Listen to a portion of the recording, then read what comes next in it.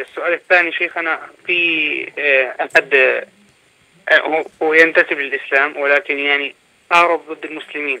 ولكن إيه أحد أحد جنود الاحتلال. أيوه الإسرائيلي نعم. أحد جنود الاحتلال. ماله؟ وهو يحارب يعني ضد غزة. أيوه يقول أنه مسلم. هل هو مسلم؟ يحارب ضد غزة. يعني يقتل المسلمين.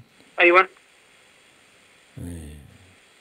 قال الله تعالى دل على فرض أنه استضعف وأخرج.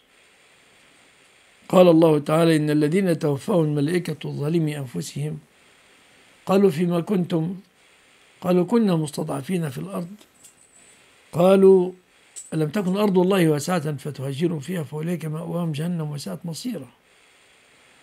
وقال النبي صلى الله عليه وسلم في حديثه ومن يقتل مؤمنا متعمدا فجزاؤه جهنم خالدا فيها وغضب الله عليه ولعنه وعد له عذابا عظيما. وقال سبحانه من يتولهم منكم فإنه منهم. يعني لا ي- وإذا كان راضيا بذلك يعني وراضي ويعتبر فعله خلاص، صحيح.